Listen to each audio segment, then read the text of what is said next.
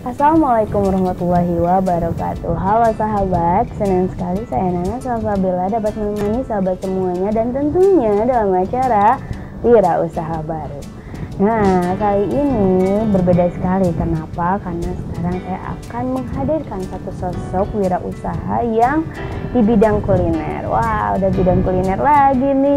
Kayaknya seneng banget nih. Soalnya kenapa? Kuliner itu kan nggak cuma makanan yang biasa untuk uh, lauk aja sebagai teman tangsi. Nah, tapi di sini kulinernya adalah sagon yaitu cemilan mungkin. Nah langsung aja kita ngobrol-ngobrol bareng sama ownernya yaitu Ibu Rani Fitriani. Halo Ibu.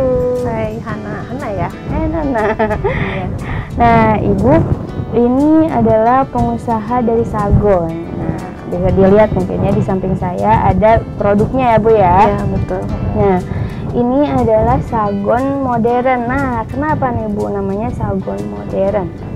uh, dibilang sagon modern karena kita ini bikin uh, bukan jajanan tradisional jadi kita ada sentuhan sedikit modern jadi berbeda dengan yang sagon yang biasanya, biasanya ya iya. nah pengen juga mau tahu ya kalau sahabat juga kalau misalnya ibu Rani ini bermula nih untuk berkiprah di bidang kuliner ini gimana nih ya awalnya sih sebetulnya e, kalau tercatat kita itu nama usaha kita tuh di kuliner Adinda itu tercatat dari bulan Oktober ya. Kuliner Adinda. Ya, kuliner. Kenapa Adinda. kuliner Adinda? Nah, itu namanya nama perusahaannya kuliner Adinda itu.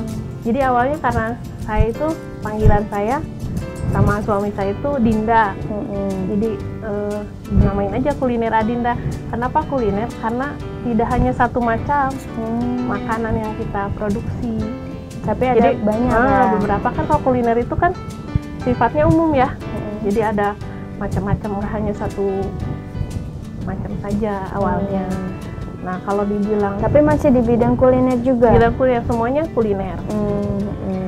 Awal mulanya sih sebetulnya karena saya jualan kue kering hmm. dulunya sih waktu tahun 2006 itu waktu aku lagi hamil anak pertama hmm. saya pernah jualan kue kering ambil di orang Oh iya. Jauh banget dari Jogja. Mm-hmm. Dari Jogja. Kenapa nih Bu ngambilnya yang jauh-jauh? Padahal kan di Bandung tuh udah terkenal dengan namanya kota ya? kuliner. Nah iya, karena hmm. ternyata di Jogja itu jauh lebih murah harga. Hmm, kita tapi kan ongkir bu. Nah ongkirnya betul, walaupun di disebut uh, ongkirnya juga ada ada mahal, hmm. tapi kalau dihitung-hitung di jumlah jamleh gitu ya, hmm.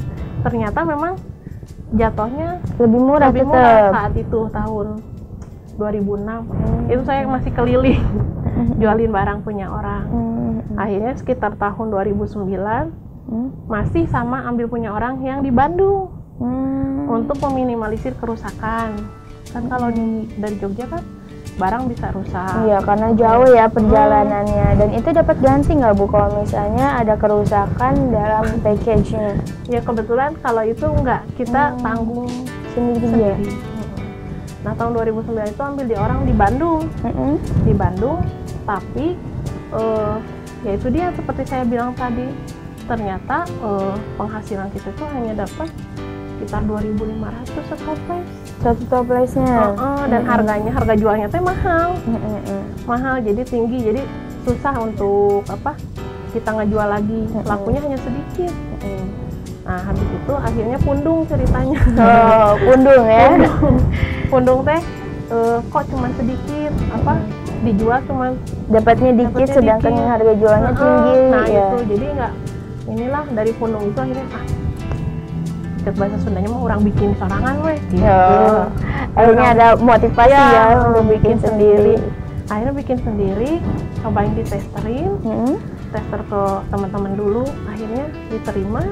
Hmm. Mulai tahun 2013 itu bisa ngejual 150 toples.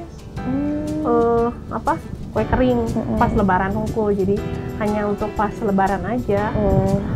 dengan 150 biji toples ya, ya. Hmm, tapi lumayan lah kalau untuk saya yang baru kan ya. penghasilannya lumayan nah, terus lama-lama dipikir-pikir itu kan hanya setahun sekali hmm. habis itu saya coba lagi apa ternyata mungkin karena bapak saya tukang masak ya -hmm. jadi ada sedikit mungkin sentuhan baru nyadar gitu hmm. kalau saya bisa gitu bikin sesuatu uh, masakan yang beda sama orang lain ternyata saya bisa bikin kue ulang tahun hmm. kue tart ulang tahun yang dihias-hias itu hmm. jadi pas uh, karena biaya kurang hmm. saya lihat YouTube belajarnya tuh hmm. lihat YouTube sendiri hmm. Hmm. jadi awalnya lihat YouTube juga mungkin ya, belajar, belajar juga. sendiri hmm. sekali nyoba alhamdulillah jadi gitu jadi biaya tidak terlalu tinggi mm-hmm. untuk gitu. untuk meminimalisir bahan juga mm-hmm. mungkin ya bu ya iya. tapi tetap dengan rasa dan kualitas yang enak ya tentunya iya, ya iya pasti saya pakai bahan-bahan yang premium saya nggak mau hmm. pakai yang aba-aba mungkin iya, ya, yang iya. KW nah iya. dan akhirnya ibu memilih sagon ini gimana nih bu nah akhirnya di tahun kemarin saya ikut wirausaha baru, mm-hmm. wirausaha baru. Nah di situ uh, kan seneng ya, mm-hmm. banyak motivator, banyak apa uh, pengajaran buat kita gitu.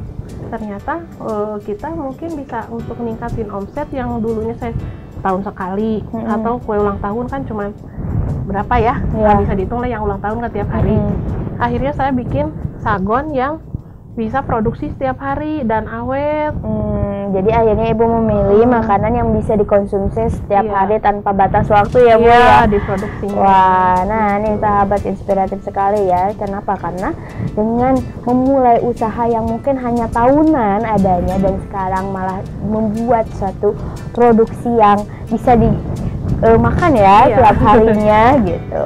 Nah, sahabat makanya jangan ke mana-mana, tetap di Wira Usaha Baru. Kenapa? Karena kita bakal ngobrol-ngobrol asik lagi.